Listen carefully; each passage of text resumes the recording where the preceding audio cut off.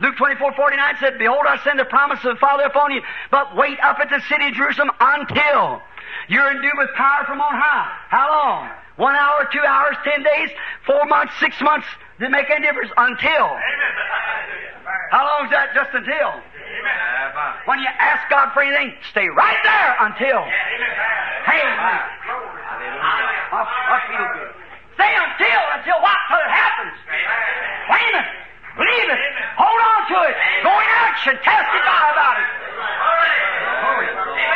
Yes. Testify. Don't be afraid. Get in action. They were in the upper room what? Praising and blessing God. What for? The promise. They know it had to come.